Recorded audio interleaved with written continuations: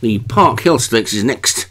This was formerly referred to as the fillies St Leger. It was only up to three odds in those days, but it's home to the horses now, but only fillies. And at the top, I've got El Paso Thistle for Vinnie Gerard. Pick a mix, Joshua Sutherland, Shimna Camellia, Dan Hughes, Highlighted Eyes, Darren Thompson, and Moulin Soprano for Leon Van Rensburg. So five of them then in this. And away they go. Uh, looks like pick and mix might be the one who's going to go on, but over on the rail, Moulin Soprano has got that rail to guide in between the two of them. The first the greys El Paso Thistle, the second greys Shimna Camellia, and Highlighted Eyes is just the back marker. So a field of five then. All trainers single handed, all five of them will take some prize money away from this one. Looks like Vinnie Gerard might be on course for the flat title. Although I think it's fair to say that if John Morgan had a full stable all season and entered all his horses every week, he'd be miles in front. Well, it's pick and mix in the lead. Uh, highlighted eyes in second. And Shimna Camellia is third. With El Paso Thistle fourth. And Moulin Soprano is the back marker.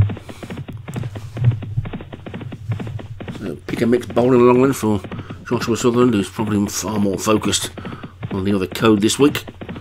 The champion trainer elect. The National Hunt side of things, the biggest week of the season. Over on the jump side. Cheltenham Festival. Taking up pretty much all of the races this week. One or two hunters thrown in and then a couple of long distance races and qualifiers later on in the week. Most eyes will be on the jumping. I'm sure Joshua Sutherland's eyes will be more on the jumping than the flat, but at the moment, we'll be pretty happy to see pick and mix four or five lengths clear. Of course, of these trends, Dan Hughes and Vinnie Gerard are probably saying, stop talking about Cheltenham, it's got nothing to do with this. Only train flat horses. It's pick and mix in front. It's a pretty big week on the flat, really, as well. You think about it, the St Leger we've just had, and the Arc of Triumph to come later in the week as well. We had a champion stakes in Ireland as well. So it's pick and mix in front then from Highlighted Eyes in second, then Shimna Camellia with Moulin Soprano and El Paso Thistle at the back. Past the four furlong pole, pick and mix is too clear of highlighted eyes. Moulin Soprano, though, is now really beginning to motor on the outside. He's coming through to challenge for the lead. The two greys caught a little bit flat footed at the back. And now Moulin Soprano comes through to challenge Pick and Mix and take it up. Moulin Soprano in the blue jacket from Pick and Mix in the red and black. These two are clear, although Shimna Camellia is starting to run on, so too is El Paso Thistle. Highlight Eyes looks beaten. They're coming down to the furlong and a half point. Then a Moulin Soprano suddenly gone too clear. Pick and Mix is starting to tread water, it looks like Moulin Soprano is going to pull away and take this one pretty comfortable. There's still a furlong to go, and we know how quickly some of these horses can stop, but Moulin Soprano doesn't look like he's going to stop at the minute. El Paso Thistle is finishing well, and now a second win for Pick and Mix, but Moulin Soprano's clear enough and he's going to take it comfortably.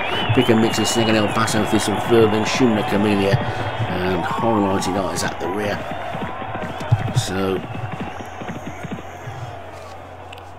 a win for Leon Van Rensburg, and the two trainers who will be concentrating mostly on the jumps this week, go one and two in a group two on the flat. Uh, so Moulin Soprano for Leon Van Rensburg, the winner. Pick and mix Joshua Sutherland second. El Paso Thistle for Vinnie Gerard third. Shimna Camellia for Dan Hughes was fourth. And Highlighted Eyes for Darren Thompson was fifth.